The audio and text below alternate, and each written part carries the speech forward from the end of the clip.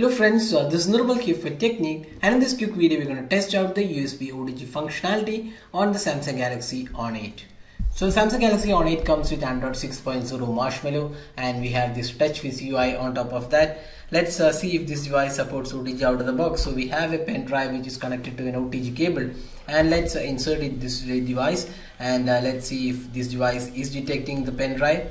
So there you go and uh, here you can uh, see that the pen drive is being accessed by the phone.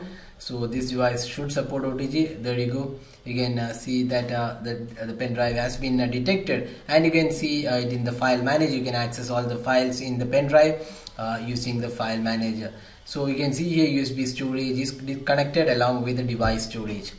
So Samsung Galaxy On 8 does come with uh, USB OTG functionality and you can connect your pen drives, computer peripherals like keyboard, mouse, etc. to this device and access it. So that is a quick video on the OTG support on uh, the Samsung Galaxy On 8. Hope you like this video. Don't forget to hit the like button and also subscribe to our YouTube channel for more videos. Thanks for watching. Have a great day.